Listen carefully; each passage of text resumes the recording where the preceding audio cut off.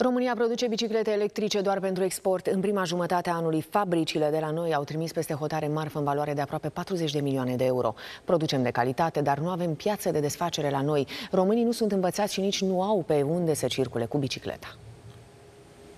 Asta e cel mai vândut model. Este o bicicletă foarte bine echipată începând de la baterie și asigură o autonomie de 70 de kilometri și este produsă în România. Bicicletele fabricate la noi fac în conjurul Europei. În jur de 73.000 au ajuns de la începutul anului în țări din Europa, precum Germania, Olanda sau Austria.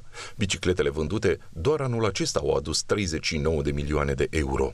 O bicicletă foarte puternică, cu care poți să urci pe munte și să faci un drum până la mare, de exemplu. O astfel de bicicletă costă în jur de 1500 de euro. Străini au început să le cumpere de la noi pentru că sunt mai ieftine. Ei le folosesc mult ca mijloc de transport, dar și pentru sport. În Elveția, în Germania, în UK, în Franța, în Norvegia și toată lumea povestește că acolo a fost așa un boom în ultimii ani, de la aproape, cum e și la noi, 1-2% până la peste 50% toată lumea și-a cumpărat bicicletă electrică.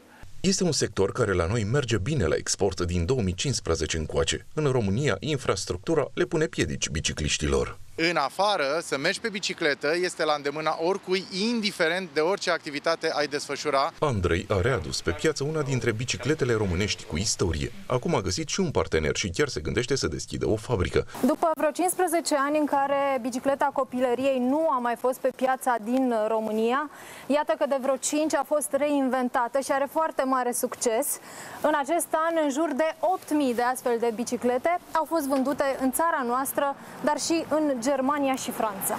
Dintr-o fabrică din Deva, producția de biciclete electrice merge mai mult la export în peste 20 de țări. Cam 60% merge pe piața din Germania și 40% aproximativ piața din uh, Olanda și Italia. 300 de angajați muncesc ca bicicletele să ajungă în Danemarca, Belgia sau Cehia. Fabrica a avut anul trecut un profit de peste 2 milioane de euro.